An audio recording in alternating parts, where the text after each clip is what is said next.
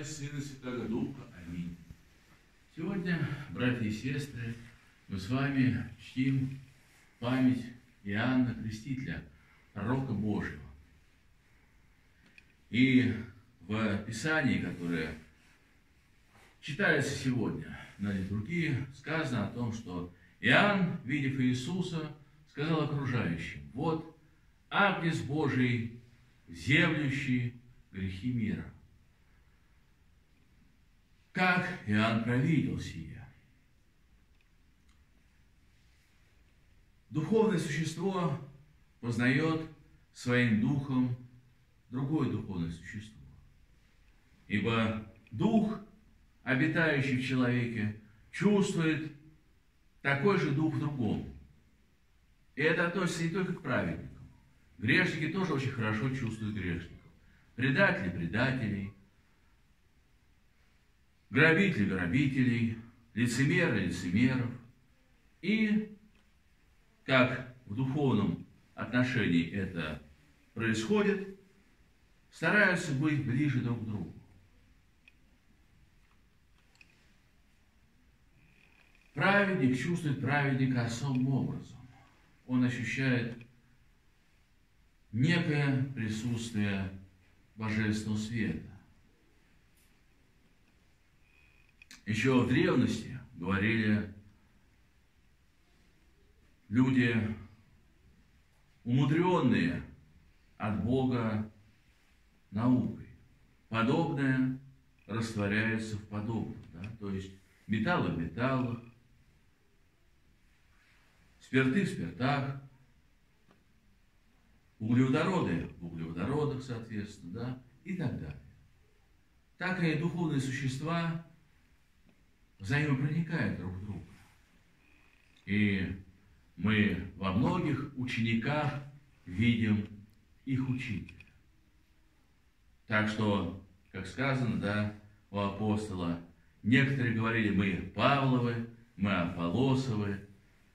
Апостол говорил, мы Иисус мы суть Христова, ибо Его Дух в нас во всех. И Иоанн сказал удивительную вещь. Вот идет тот, кто был до меня. Ведь Иоанн, как известно, родился раньше Иисуса. Но, опять же, это замечание духовное. Да? Вот идет тот, кто существовал, и прежде даже я зачат был. Ибо Иоанн пророк, и он говорит вещи, которые окружающие не могут уразуметь. Да? Они слышат, но внутрь разумение не проникает. И даже ученики Иоанновы тоже спрашивали его, да, кто вот этот есть, да? Кто Иисус, пришедший из Назарета? Почему ты такого высокого мнения о нем? Ведь он же не такой постик, как ты. Он не такой пустынник, как ты. Он не такой пророк, как ты. Ты выше всех. Но здесь есть некий закон удивительный. Люди часто судят по своему разумению о других людях. Но им не хватает понимания того, что что Бог судил, да, и как Он судил. Это совсем другой суд. Это совсем другая ситуация. Проще говоря, люди полагают, что пророк должен быть какой-то образцово-показательный человек, да, с каким-то идеальным житием, с каким-то, вот, я даже не знаю, там, как это выразить, да, каким-то шаблоном таким, да, внутренним который укладывался бы в рамки а, житийной литературы. Но нет. Пророк – существо Божие. И кого Бог наделяет глазом, тот им обладает. Из списка пророков я не могу исключить тех удивительных людей, которые говорили в свое время вещи откровенные. Тоже Пушкин, да, Александр Сергеевич. Воистину пророк народа своего. И Та же ослица, которая возразила Валаам, да, тоже пророчица, хоть она и рода животного. Пророк есть труба Божья, а ее внешний вид не должен никого заботить. Да? И все хорошо слышат правду, если они духовны. Да? И вот ученики его, они попросили, да ну почему так, да? Почему ты ему воздаешь такие почести? Почему ты говоришь, что ты обувь не имеешь права понести за ним, да? Почему ты говоришь, что ты должен креститься от него, а не он от тебя? Ведь ты же а вспомните, да, слова. Что велико перед людьми, пред Богом, не всегда велико, да. Иногда является ничтожным перед Богом.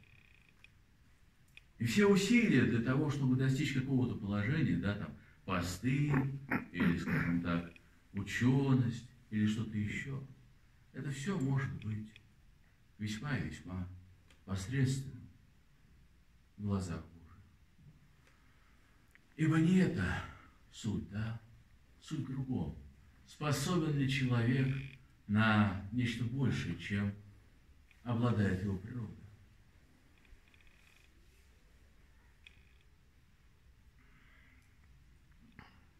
Способен ли он выйти за пределы своих возможностей, так, чтобы достичь обожения, чтобы исполниться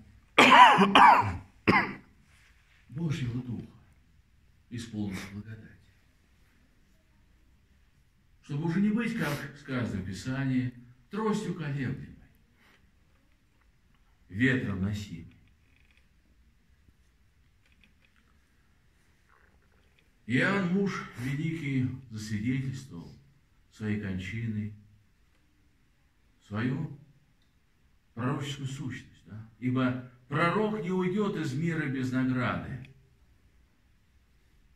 Найдется тот, кто возложит на него руки свои.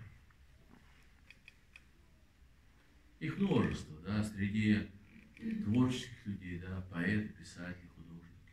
Многие из них окончили свой путь очень и очень трагически, да. В молодые годы, да, как вот тоже Лермонтов, Александр Александрович, я понимаю, что они не канонизированы церковью, да? Я понимаю, что и протопоп Авакум тоже не канонизирован церковью, да? Но это великий пророк. И, как бы сказать, документ здесь не имеет никакой роли. Потому что духовное разумеет духом, оно зрит духом, да, оно зрит очами не, не, не материально. И смерть есть очевидное свидетельство их правоты.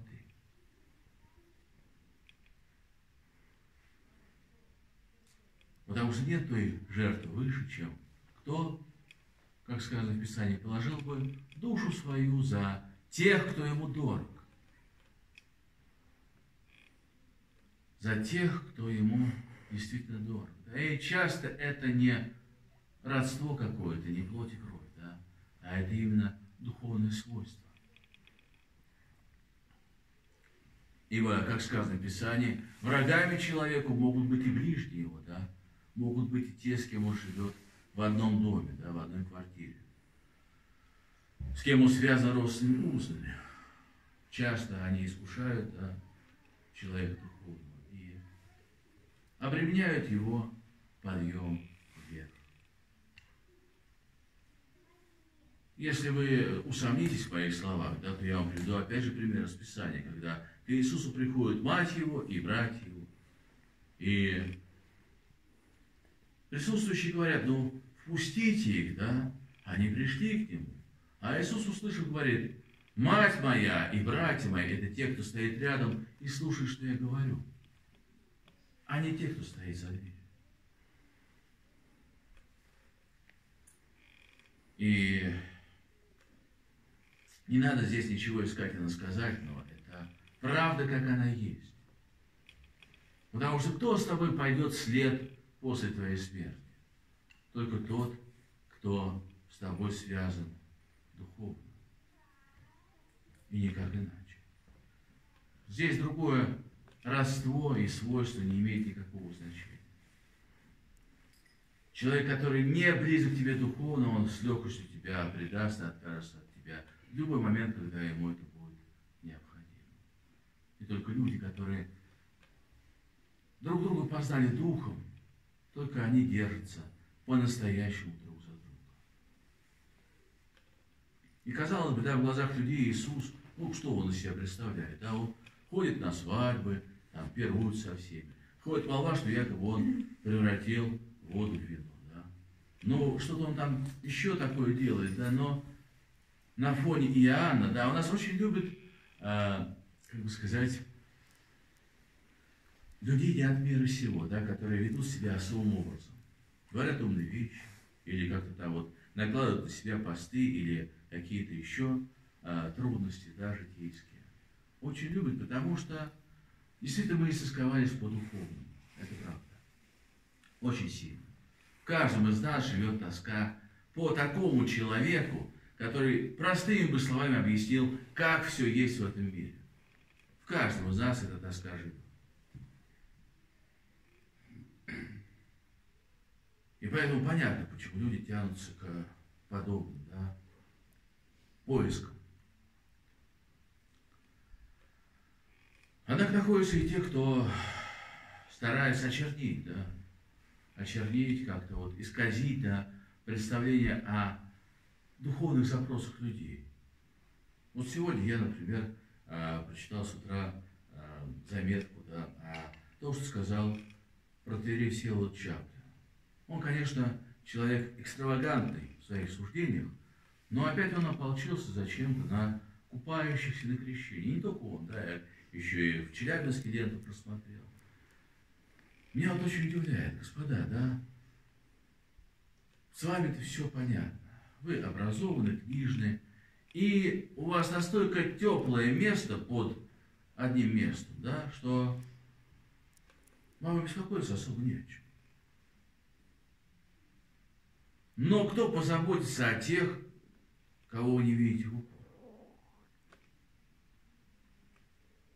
Кто ищет от Бога хоть какое-то исцеление, хоть какую-то помощь? Для них, может быть, купили это и есть единственный ответ на их запрос. Что же вы им запрещаете входить в купель Господь? У вас все хорошо. У вас уже на два века припасено, да, всего. Что же вы других-то отбираете? Не даете благодати. В таком случае справедливо на вас обрушить их болезни, их немощи и их запросы. Но вы дистанцируетесь от них.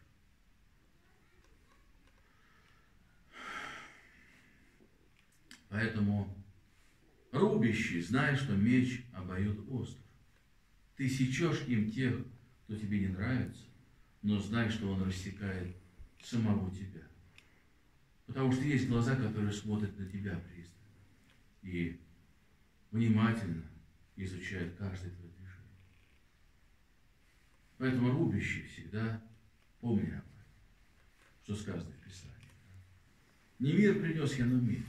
Меч обоюд остр рассекающий до суставов и до последних сухожилий. Потому и осуждение, оно, как бы сказать, весьма опасно. Не дело не в том, что мы там кого-то подвергаем суду. Дело в том, что суд, который мы приносим, часто проходит сквозь нас самих. И он не лицеприятен. Надо это всегда осознавать.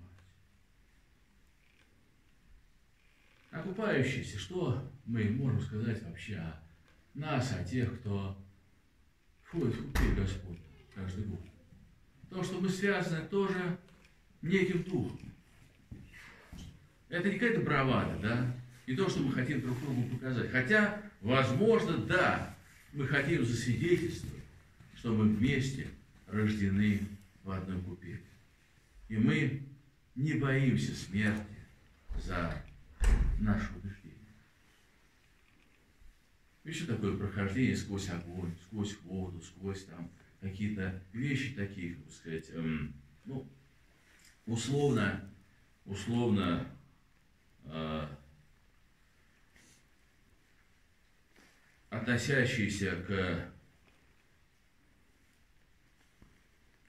переходу через смерть, да, э, это сохранилось во многих э, культурах э, разных племен, да, то есть, когда юноша исполняется, там, ну, условно говоря, там, 12, там, 13 лет, его проводят через обряд инициации, посвящения. Либо он должен прыгнуть через какие-нибудь там э, препятствия с ножами, да, и обязательно пораниться, да, чтобы потом полностью жить, что он стал мужчиной. Да. Либо он должен через огонь пройти, либо, э, как там, в некоторых народах там еще там используются разные там, виды насекомых, опасных весьма, да.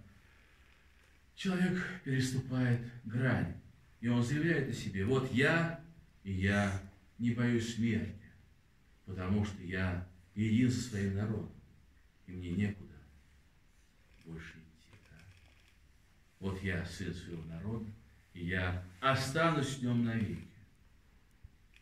Купель, купель связывает нас не только родством плоским, да? она связывает нас родством духовным, ибо с нами купаются не только люди русские, да, но и прочих народностей достаточно. У нас единый дух. И это связывает нас надежнее любого другого, скажем так, возможного родства. Гораздо надежнее. И примером тому, конечно, является образ 40 севастийских мучеников, замученных в ледяной воде до смерти. Или пример мучеников уже советского периода, да, когда их в лагерях ставили в ледяную воду, и они умирали с верой в Бога, у них не было другого выхода. И это нас связывает с ними, а не просто с тем, чтобы показать свою мудрость. Знаете, какая там мудрость, да? Я вышел из купели, и руки болели так, что, собственно говоря, я уже чувствовал, что сейчас завою, да, от боли. И я их отогревал в тазу с кипятком, да, для того, чтобы они просто не, как бы сказать, а, заставили меня внутри себя орать, да, от того, что так больно. Какая там бравада, да? Я прекрасно осознаю, стоя наверху, на ступени, что сейчас будет очень больно. И каждый раз прохожу через это. Дело не право, не будет, да, молодецкой. Я уж как бы сказать, не так и молод. Вот. И если кто-то хочет показать бравад, да пожалуйста. Пусть он покажет, что он тоже чего-то стоит. Это вполне естественно. Как бы сказать, людей смелых, как бы сказать, их мир признает, да, и женщины, потому что они могут пойти и повести за собой остальных. И это хорошо. Так дайте им возможность себя проявить. Она же любит это самое, как бы сказать, человека э, сильного, смелого взять его, как бы сказать, да, под плинтус загнать, да, чтобы он не слишком выделялся на фоне остальных. Ну вот Иоанна пророка усекли как раз таким образом, да. Он слишком много мешал. Слишком высоко возвышался над прочим. И даже царь, который любил его, предал его. Предать то, что любишь, это самый страшный грех вообще на земле. Потому что чем тебе оправдаться? Да нечем просто. Совершенно нечем. После случившегося ты бы рад уже, как бы сказать, вылезти из кожи, чтобы вы как-то выйти из положения, но уже поздно голову принесли на блюде. На, ешь, великий царь. Такова участь пророков. Они признаны миром, бывают, и бывают миром пригодимы. И в ряду первых стоит, конечно, Иоанн, пророк, креститель Господень. Как сказано, да, унаследовавший участь выше прочих сынов человеческих. Аминь.